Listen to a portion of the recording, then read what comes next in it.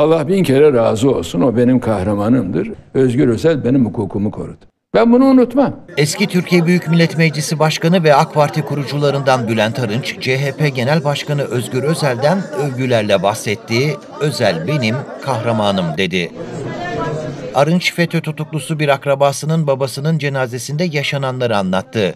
Akrabasının kelepçesinin çözülmesi için Özel'in devreye girdiğini söyledi. Bu benim kahramanımdır. Özgür Özel benim hukukumu korudu.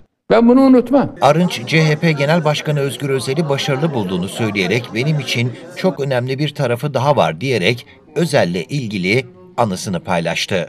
Manisa'nın 5 milletvekili var AK Parti'de. Hiçbirisi yok orada. Ve bunlardan ikisi elinden tutup da milletvekili yaptığım insanlar. Ve bir tanesi de o köyün çocuğu. Onlar yok ortalık. Vali zaten yok. Başsavcı kaçmış. Her bir bir tarafa dağılmış ben gideceğim diye.